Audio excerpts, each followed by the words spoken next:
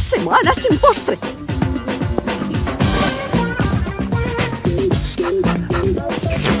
Un mes sin postre.